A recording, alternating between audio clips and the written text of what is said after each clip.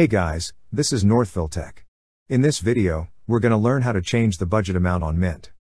Open the website mint.com, then click on Sign In. First, enter your phone number, email address, or user ID. Then click on Sign In. Next, enter your password. Then click on Continue.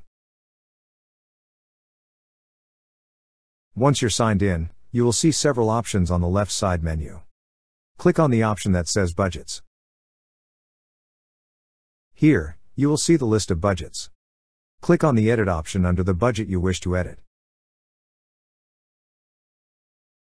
On the Budget Amount field, enter the new amount you wish to enter. Then click on Save. That's how you change the budget amount on Mint. Thank you so much guys for watching and if you have not yet subscribed to our YouTube channel, please subscribe to our YouTube channel as we create tech videos related to financial apps almost every day. Also, check out our website northvilletech.com for great tech articles, and our recommended resources in the description below for various sign up bonuses.